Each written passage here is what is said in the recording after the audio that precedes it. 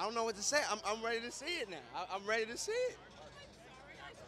You, you definitely spoiled it for me. What up, baby? Congratulations on the album too, bro. For sure, for sure. Congrats on Congratulations. Yeah, that's crazy. Ah, man, I'm excited. I can't wait to see it, man. I, I'm really excited to see not only just, you know, the movie, but how we're going to, you know, the tribute to Paul and, you know, how that whole thing's going to plan out. But I'm excited to be here. I really am, man. This is, uh, this is exciting, man, to be a part of this franchise, of course. I mean, what else can I say? I'm excited about this.